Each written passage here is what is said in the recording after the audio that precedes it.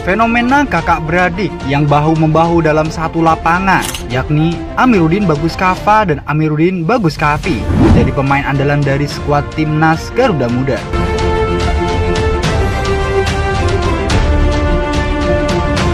Kiprahnya pada timnas U19 dapat dikatakan sangat baik. Mereka tampil dengan ciri khas yang unik dengan perbedaan posisi yang begitu mencolok. Yakni Bagas Kava mengisi posisi back sayap, sedangkan Bagus Kavi menjadi penyerang di skuad timnas Indonesia.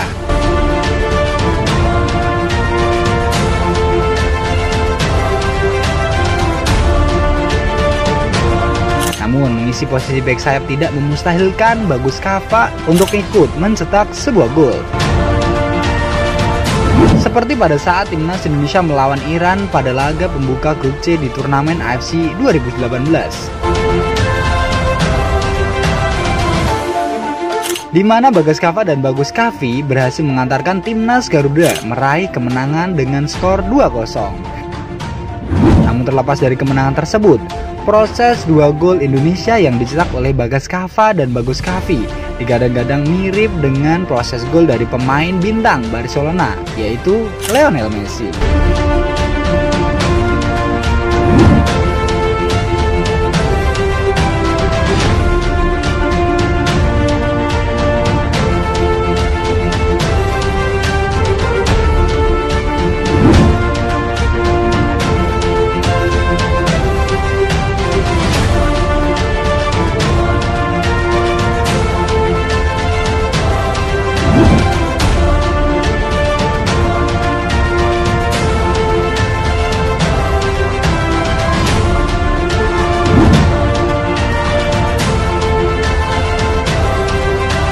Dan bagaimana menurutmu guys?